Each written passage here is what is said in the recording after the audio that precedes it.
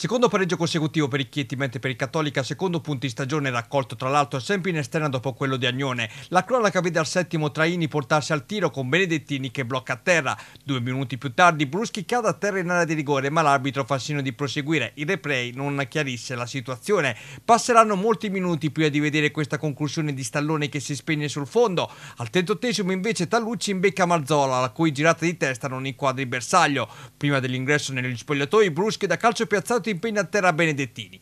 Ad inizio ripresa, esattamente al minuto 7, il Cattolica sorpresa passa. Battistini sale in cielo senza neppure bisogno di usare l'ascensore e batte Carmen per lo 0-1 ospite. La risposta dei Chieti è affidata a Traini, la cui conclusione si spegne alta. 60 secondi più tardi, Bruschi impegna Battistini in corner direttamente a calcio piazzato. A quarto d'ora, però, i Chieti pareggia. Traini cade a terra in area di rigore. Per il direttore di gara si tratta di penalty. Dagli 11 metri, Marzoli trova l'1-1, ristabilendo dunque la parità in campo. I Chieti si rende pericoloso solamente nel finale al 35 per l'esattezza, quando Traini si gira bene, ma non inquadra lo specchio della porta di un nulla. 1-1 il finale tra Chieti e Cattolica.